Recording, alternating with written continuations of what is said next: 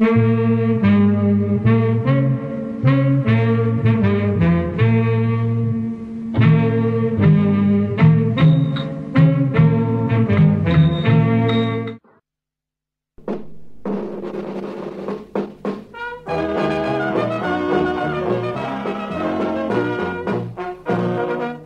េះភ្នំពេញផ្សាយចេញពីក្រមព្រះសូរិយានេតិមរតកភាពយន្តខ្មែរ រៀបរៀងនិងអត្ថាធិប្បាយដោយវីរៈវរនីស្រាវជ្រាវនិងផលិតដោយក្រមព្រះសូរិយា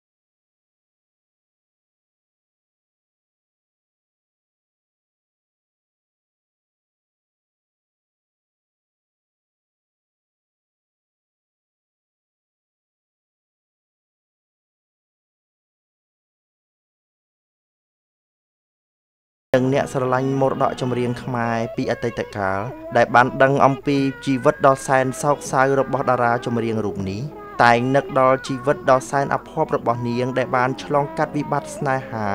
រស់នៅក្រោមនឹមទារុណផ្លូវចិត្ត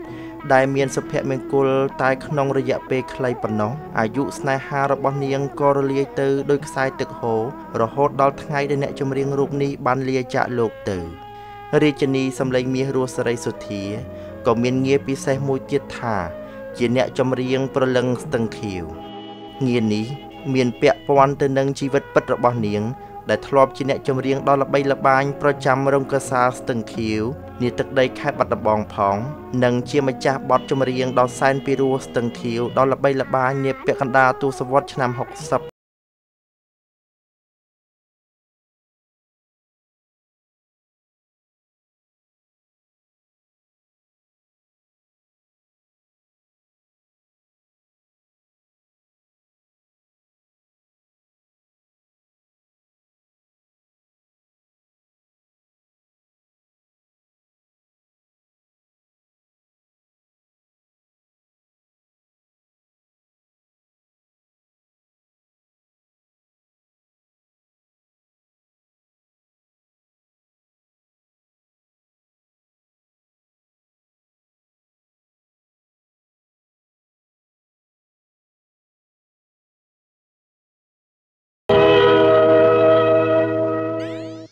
កាលឆ្នាំ1965នៅក្នុងពិធីសមាជាតិនាវាលមេនក្បែរព្រះបរមរាជវាំងរាត្រីប្រគំតន្ត្រីអបអរសាទរ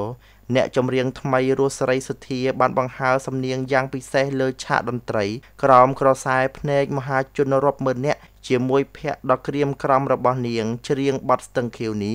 រហូតទិញបេះដូងអ្នកស្ដាប់កាន់តែជក់ចិត្តចំពោះសំឡេងរបស់នាង។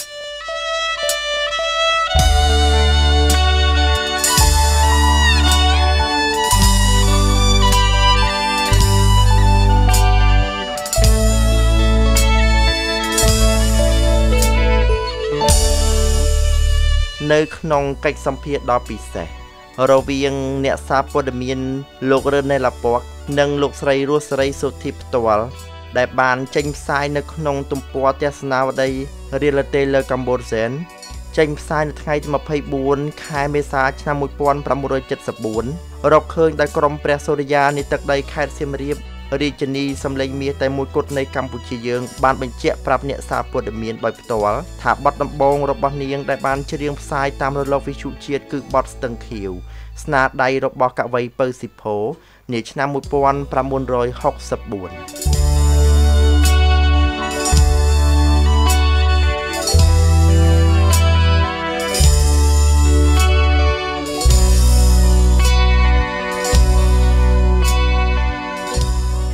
ពិតណាស់តែបទនេះជាស្នាដៃរបស់កវីពៅស៊ីផូក៏ពិតមែនតែបទនេះមានអត្តកម្បាំងបង្កប់នៅ ដោយមហាជនមួយចំនួនធំមិនដឹងទាល់តែសោះថាបទនេះជាប្រវត្តិស្នេហាពាក់ព័ន្ធនឹងរឿងពិតរបស់អ្នកចម្រៀងរស់សេរីសុទ្ធាផ្ទាល់តែម្ដងរឿងពិតនោះគឺកើតឡើង នៅកំឡុងឆ្នាំ1962នៅពេលដែលអ្នកចម្រៀងរូបនេះបានចាក់ចេញពីស្រុកកំណើតមករស់នៅរាជធានីភ្នំពេញ ស្នាក់អាស្រ័យរៀនសូត្រនៅក្នុងក្រមសិល្បៈសង្ហាផននិងលោកស្រីសេរីយ៉ា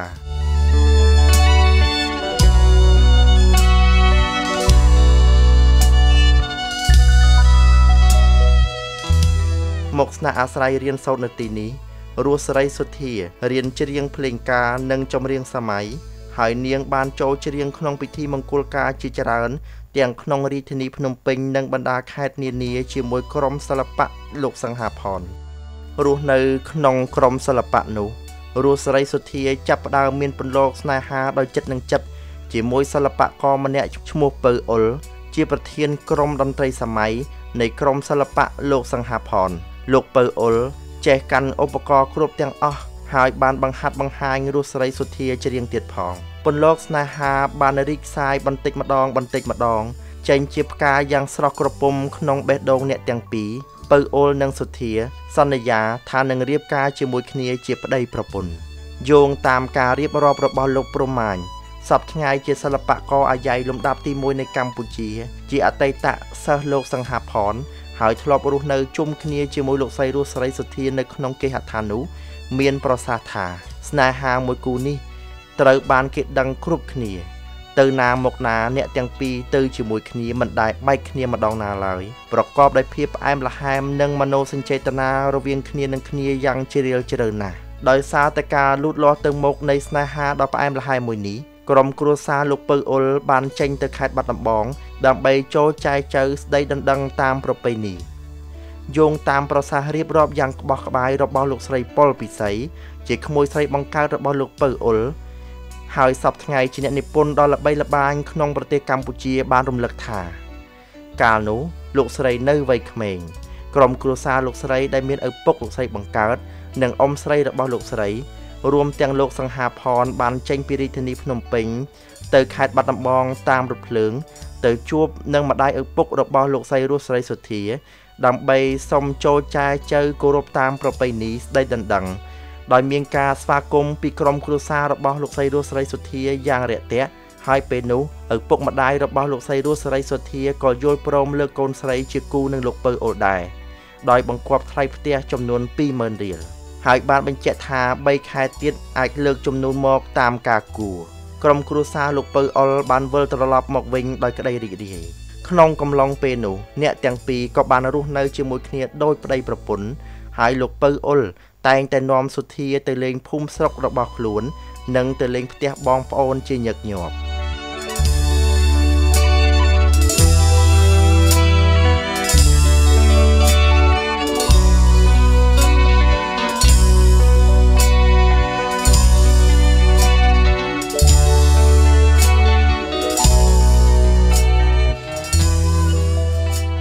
យៈពេល3ខែបន្ទាប់ចាស់ទុំខាងប្រុសបានលើកចំនួនទៅម្ដងទៀតតែលើកនេះមានរឿងខកចិត្តមួយបានកើតឡើងឪពុកម្ដាយរបស់រស់ស្រីសុធាបានរុញចំនួននោះហើយបាននិយាយថា ពីមុនគាត់សុំបង្គាប់ថ្លៃផ្ទះ20000មែនប៉ុន្តែកូនធ្វើកែរែងកសាស្ទឹងខៀវគេឲ្យដល់ទៅ30000គ្រាន់តែលឺពាក្យប៉ុណ្ណេះក្រុមគ្រួសាររបស់លោកពៅអ៊ុលបានសម្រេចចិត្តថាផ្ដាច់តែម្ដង ហើយក៏វិលត្រឡប់មកភ្នំពេញវិញ។ នៅក្នុងពេលនោះរស់ស្រីសុធាអង្គុយបត់ជើងយំយ៉ាងស្រណោះស្រណោកដោយមិននឹកស្មានថាមានរឿងនេះកើតឡើងនោះទេក្រោយមកសុធាក៏បានទៅរស់នៅខេត្តបាត់ដំបងវិញ ហើយមុនពេលចាក់ចេញ អ្នកទាំងពីរបានលាគ្នាដោយឈរយំនៅស្ថានីយ៍រថយន្តឈ្នួលនាផ្សារថ្មី ទាំងក្តីអស់សង្ឃឹមស្នេហាខកចិត្តមួយនេះ ធ្វើឲ្យសុធាចិញ្ចឹមចិត្តនឹកស្រណោះ និងមិនអាចនិយាយអ្វីបានទាំងអស់រហូតដល់លោកម៉ាឡាពី បាននាំនាងមកច្រៀងក្នុងវងតន្ត្រីវិទ្យុជាតិនាងបានជួបនឹងលោកពៅស៊ីផូហើយបានរៀបរាប់រឿងនេះប្រាប់លោកកវីយើង កវីយើងក៏ចាប់ផ្ដើមកាន់ស្លាបពការាយទំនុកតាមរឿងពិតរបស់នាងចេញជាបទស្ទឹង